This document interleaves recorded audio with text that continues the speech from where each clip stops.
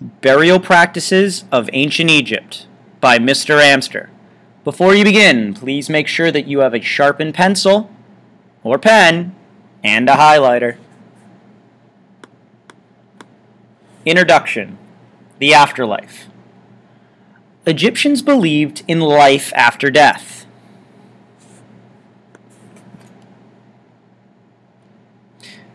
When a person died, Egyptians would say that that person headed west. Why do you think they said that? It's because they would view the West as the land of the dead. Please make a note of that.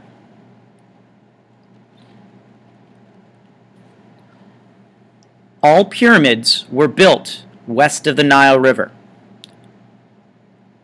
However, if a pyramid was built east of the Nile River, it was not a tomb, but a temple for, that celebrated life.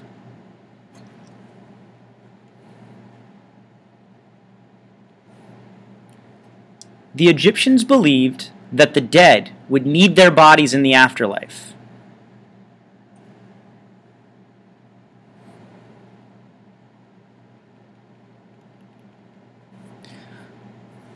They preserved their bodies through embalming, which is another name for mummification. This process took about 70 days. Please take a moment and highlight life after death, headed west, west of the Nile, 70 days.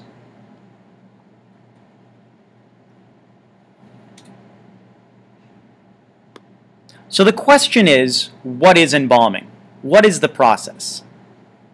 Step one. The organs were removed by an embalmer.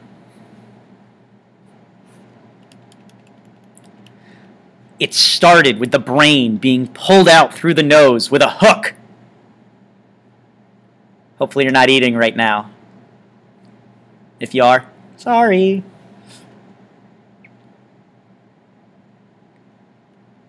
The only organ that was left inside the body was the heart. Why? Because they believed that the gods judge the dead by their heart.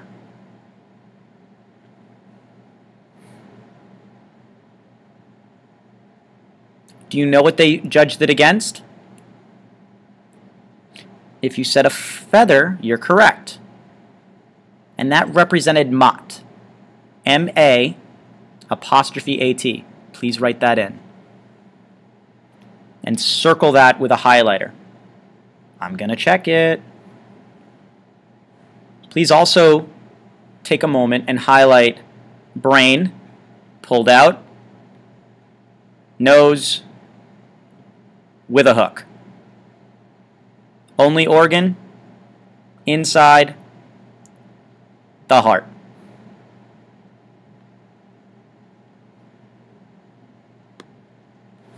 Again, what's going on here? What is embalming, Mr. Amster? In step two, they packed all of the other organs into jars with a special salt called natron. Na in natron is where it get, salt gets its name on the periodic table. Bet you didn't know that.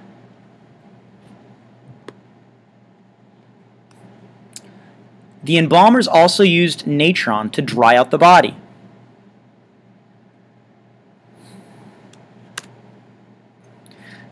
The body was also then stuffed with linen to help dry it out even more.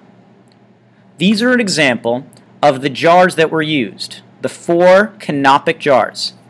C-A-N, O-P, I-C. Please write that down at this time.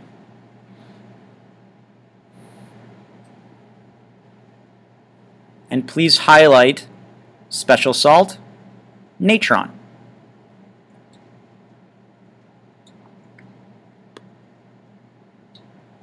Step 3. Once the body was dried out, they washed it and oiled the body. In step four, they began to wrap it with linen.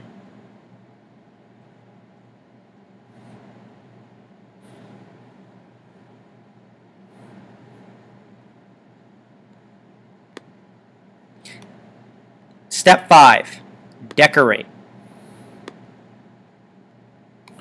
The mummy was decorated with jewelry and charms.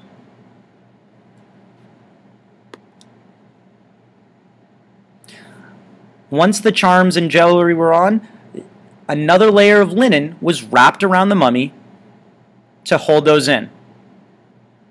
What are these charms? Well, we'll take a peek at those tomorrow.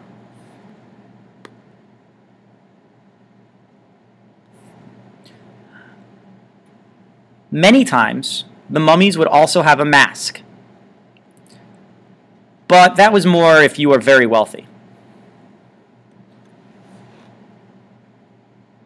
Please take a moment and highlight decorated, jewelry, and charms.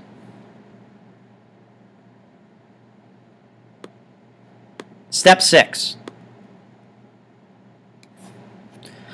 The embalmers the people who did the mummification, spread a gooey black gum over the body and once again would wrap it in linen.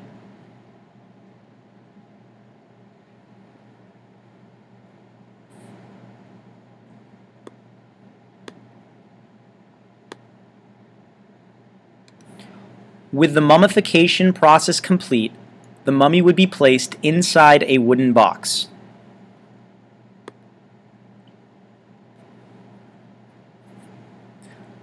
That box would be placed inside a sarcophagus, also known as a large stone coffin, much like our modern day coffins. Ancient Egyptians believed that the afterlife would be similar to life on earth. Well, if it's like that, what are some things you think you might need? A soccer ball? A football? For some of you, I'm sure you'd want your iPad or iPhone. But for them, it was very different. Before we move on, please highlight sarcophagus, stone coffin, afterlife, similar life on to life on earth.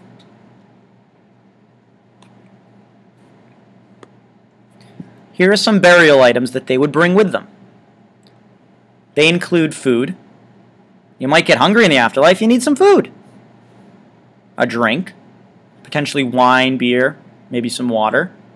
Get thirsty. Furniture. You gotta have a nice place to sit in the afterlife, you know, you're chilling out. Statues. They would have things called shabti. Now, those of you who have read the Kane Chronicles learned about Shabti. They would be their servants, supposedly, in the afterlife. They would bring gold and jewelry, because you know you gotta look fashionable when you're in the afterlife, and clothing. You know, you gotta have a couple outfits if you're gonna go out and hang out with other people. Some games, pass the time, and mirrors. Gotta check out, make sure you look good, make sure the hair's all correct. Make sure all the makeup's on.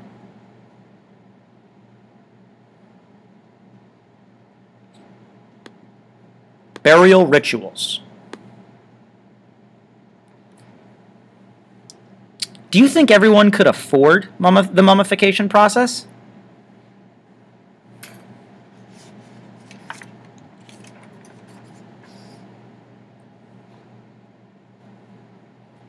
The answer is no. It was expensive. If you recall in old in the old kingdom that only the the pharaoh and the nobles got mummified.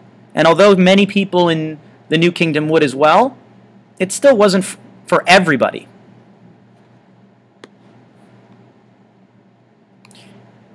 However, poor Egyptians would be wrapped in cloth and buried with some items to help them in the afterlife, like bread, beer, and other items that may help them survive.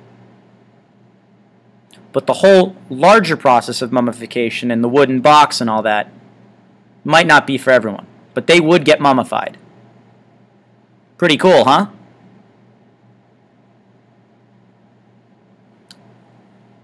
The end.